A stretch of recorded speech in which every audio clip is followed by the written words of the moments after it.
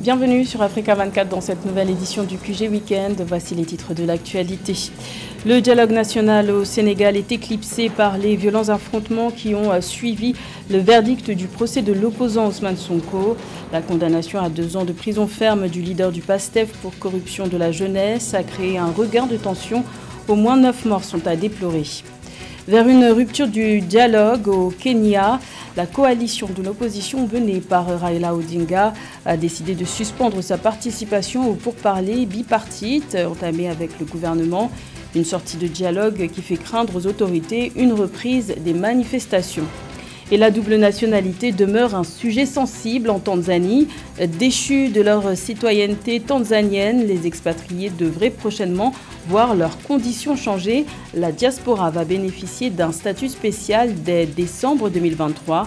Détail à suivre dans cette édition. Mais tout d'abord, au Mali, la campagne référendaire a débuté ce vendredi 2 juin en vue euh, du référendum constitutionnel initialement prévu en mars dernier et reporté au 18 juin. Les électeurs maliens seront invités à s'exprimer sur l'adoption ou non du projet de constitution initié par l'agent au pouvoir depuis le coup d'État euh, d'août 2020. Cette consultation est la première étape d'un calendrier censé aboutir à des élections en février 2024 en vue d'un retour des civils aux affaires. Notons que cette consultation se fait sur fond de contestation Plusieurs partis, regroupements politiques et organisations de la société civile dénoncent un passage en force de la junte qu'ils jugent illégitime pour changer la loi fondamentale, faute d'avoir été élus par le peuple. La campagne référendaire prendra fin le 16 juin. Dakar est sous tension. La capitale sénégalaise a été le théâtre de violents affrontements euh, suite au verdict du procès de l'opposant Ousmane Sonko le 1er juin. Ce dernier a été condamné à deux ans de prison ferme pour corruption de la jeunesse. Une condamnation qui a provoqué la colère de ses partisans. Au moins neuf morts sont à déplorer suite à des heurts entre police et manifestants. Le point avec Corinne Kamsefem. Transport quasi en arrêt ce 2 juin 2023 dans les rues de Dakar au Sénégal, après une journée particulièrement violente au cours de laquelle neuf personnes ont trouvé la mort, selon un bilan rendu public par Félix Antoine Diom, le ministre de l'Intérieur qui s'est exprimé dans la nuit du 1er juin 2023. Il a à cette occasion présenté les condoléances du gouvernement aux familles éprouvées, mais aussi rassuré les populations de ce que le gouvernement met tout en œuvre pour garantir leur sécurité. Selon lui, la restriction opérée sur plusieurs réseaux sociaux s'est imposée alors que des messages de haine en circulation n'étaient pas de nature à apaiser les affrontements déclenchés après la condamnation de l'opposant Ousmane Sonko. Nous avons constaté avec regret des violences ayant entraîné des destructions sur des biens publics et privés et malheureusement neuf décès à Dakar et à Ziguinchor nous rappelons aux médias l'importance de respecter le code de la presse qui permet à l'autorité administrative de prévenir ou de faire cesser toute atteinte à la sûreté de l'État, à l'intégrité du territoire national ou tout cas d'incitation à la haine. Tout en appelant au calme et à la sérénité de nos concitoyens l'État du Sénégal a pris toutes les mesures pour garantir la sécurité des personnes et des biens.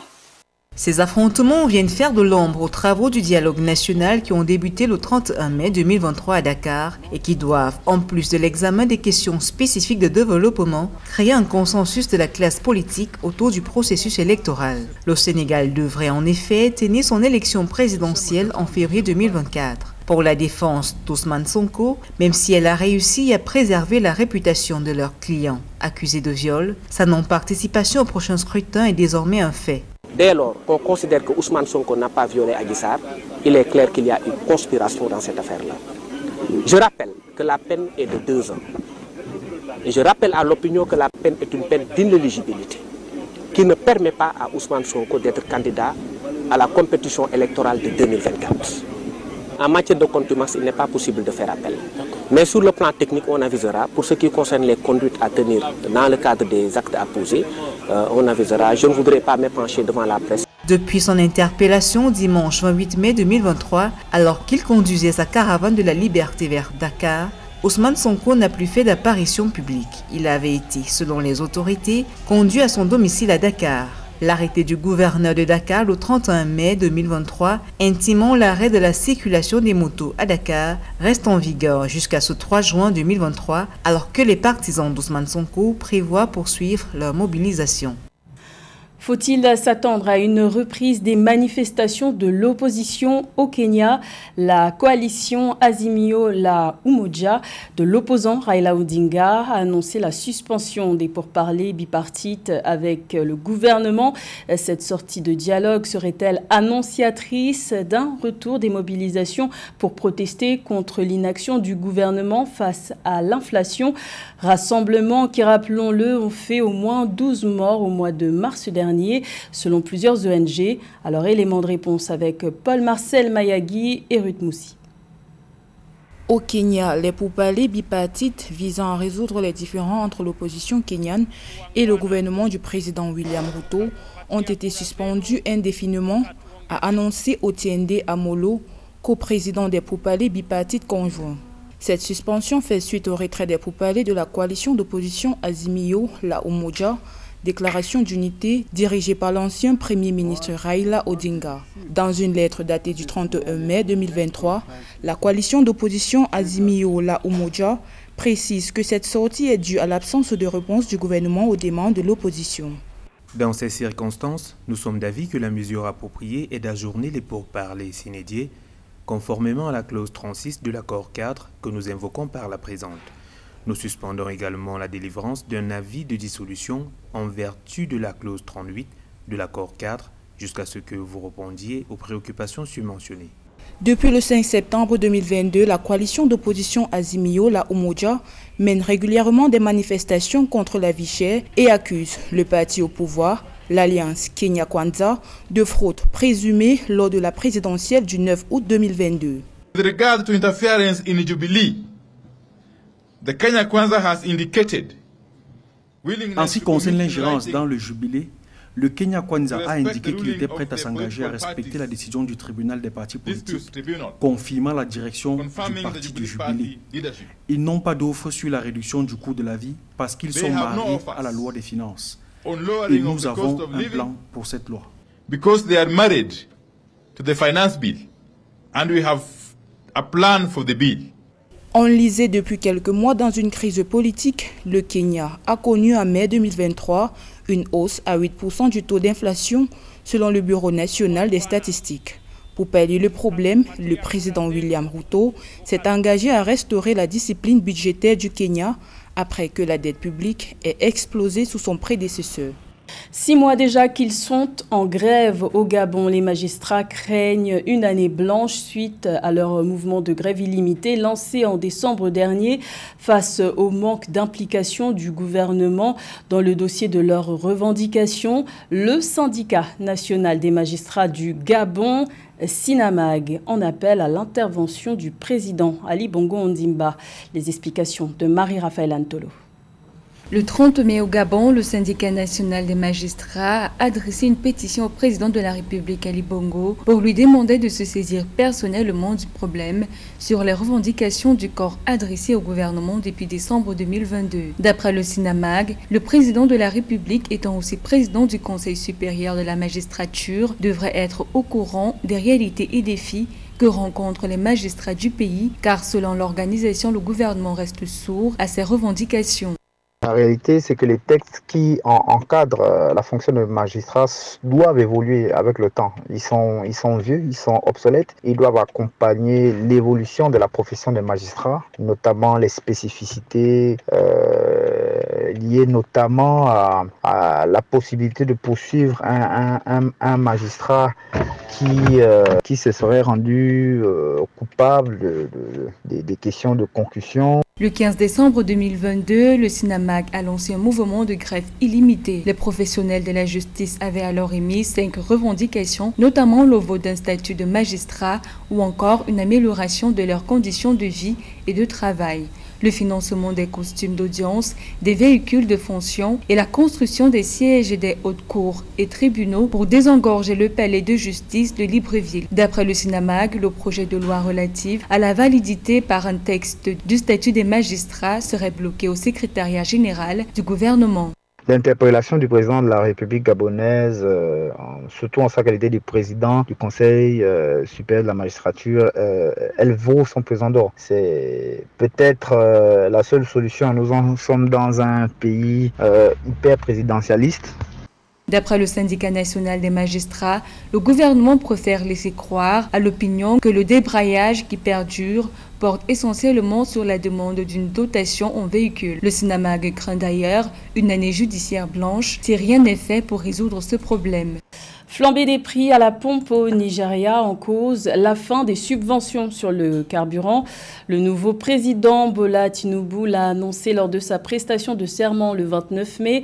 C'était l'une de ses promesses de campagne pour redresser l'économie nationale. Conséquence, les files d'attente aux stations essence se sont multipliées et les prix du carburant se sont envolés. Plus de détails avec Marie Raphaël Antolo. Au Nigeria, le 29 mai 2023, le nouveau président Bola Tinubu a déclaré la fin des subventions sur les carburants dans le pays qui, selon lui, ne favorise que les riches et non les pauvres. À cet effet, depuis le 30 mai 2023, les prix du carburant dans les grandes villes, telles que la capitale Abuja et Lagos, sont passés de 185 naira nigériens à 600 naira le litre.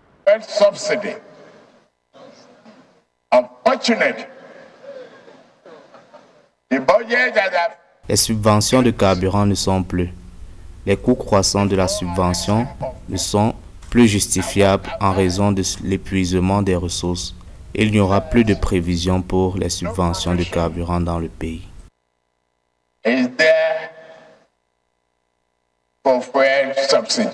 Bien que le Nigeria soit un important exportateur de pétrole, le géant ouest-africain importe la majeure partie de son essence. Une subvention annuelle de 9 milliards d'euros permettait au pays de maintenir un prix à la pompe modéré pour les automobilistes. Cette politique sera venue plomber l'économie du pays, selon le nouveau président.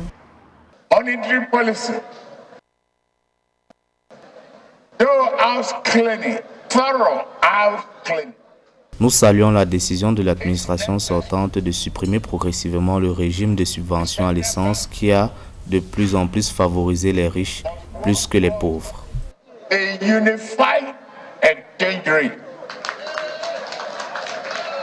Rappelons que c'est en octobre 2000 que le gouvernement nigérien avait introduit une subvention au carburant en apportant un soutien financier direct aux compagnies pétrolières pour faciliter la vie des populations. C'est peut-être une avancée dans le débat sur la double nationalité en Tanzanie, un sujet sensible dans le pays car adopter une autre nationalité, c'est perdre sa citoyenneté tanzanienne, mais les lignes pourraient bouger suite à un débat au Parlement au mois de mai dernier. Un statut spécial pour la diaspora a été annoncé. Il devrait être effectif dès le mois de décembre. Les précisions de Mildred Diamou. La Tanzanie prévoit un nouveau statut pour sa diaspora d'ici la fin de l'année. Selon le ministère des Affaires étrangères et de la coopération est-africaine, la décision fait suite à la reconnaissance du rôle important que jouent les Tanzaniens de la diaspora en faveur de la croissance économique et du développement national. Tanzania Non-Citizen Diaspora, c'est le statut spécial qu'aura la diaspora tanzanienne dès décembre 2023 c'est une bonne nouvelle parce que sur le plan politique, c'est un acte et un message de rassemblement et de vivre ensemble. Sur le plan économique, cet acte peut permettre à renforcer les investissements directs étrangers. Les investissements de la diaspora dans le pays sont importants et en leur permettant d'avoir accès à la terre, aux services financiers d'investir, le gouvernement de la Tanzanie s'offre une possibilité de relever et d'intensifier le niveau de développement économique et social. L'octroi d'un statut spécial aux Tanzaniens de la diaspora vise à leur permettre d'accéder à des services importants et d'accroître leur contribution au développement du pays selon le gouvernement. La décision intervient en réponse aux nombreuses recommandations faites par ces citoyens qui souhaitent investir davantage dans leur pays. Il s'agit notamment de la possibilité d'entrer dans le pays, de posséder des terres et d'accéder aux services financiers des demandes que le gouvernement affirme avoir prises en compte dans le cadre du statut spécial proposé. Dans le fond, les Tanzaniens de la diaspora n'auront pas les mêmes droits que les Tanzaniens en Tanzanie. Et donc, ce problème va revenir plus tard lorsque sur certains droits, les Tanzaniens de la diaspora vont bien se rendre compte qu'ils n'ont pas réglé le problème dans le fond. Les envois de fonds et les investissements de la diaspora tanzanienne dans les secteurs économiques et sociaux du pays ont augmenté ces derniers mois. Au cours de la période de janvier à décembre 2022, la diaspora a investi environ 4,4 milliards de shillings dans l'achat de maisons et de terrains, comparé aux 2,2 milliards de shillings investis au cours de la période de janvier à décembre 2021. Le statut spécial vient en substitution alors que la Tanzanie n'a pas encore autorisé la double nationalité. C'était le journal de la rédaction. Merci de l'avoir suivi. L'information continue sur Africa 24.